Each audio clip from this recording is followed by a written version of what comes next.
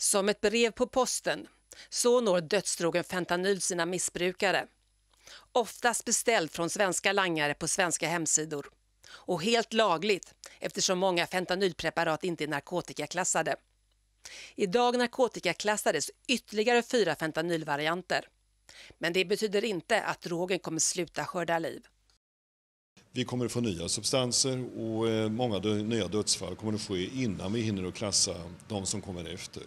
Från vår sida så skulle vi gärna se att vi får till en, en klassning av hela den gruppen som vi vet samtliga mer eller mindre är livsfarliga. Stevie Alm kallar utvecklingen extrem och säger att polisen aldrig tidigare skådat en så dramatisk narkotikautveckling. Drogen började ta liv i början av 00-talet.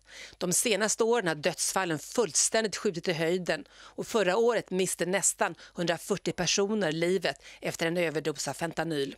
Paula Selén förlorade sin 16-åriga son redan 2011. Hon vet att det var fentanyl som tog hans liv, men inte hur. De tror att han hade rökt det och sen en halvtimme efter har han ramlat ihop.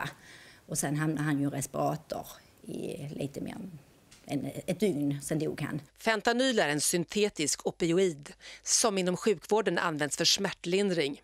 Och det är en oerhört stark drog. Vid överdoseringar eh, så sker ofta andningsförlamning och eh, tyvärr så visar statistiken att det är många som inte klarar det. Sex år har gått sedan drogen tog Alexanders liv. Sorgen finns fortfarande kvar. Alltså det är som att gå för en trappa. Man går några steg, man rasar några steg, man går många steg, rasar man lite. Så att, eh, och denna helgen är extremt, allgående helga helgen, så att den är lite extra tuff. Är den.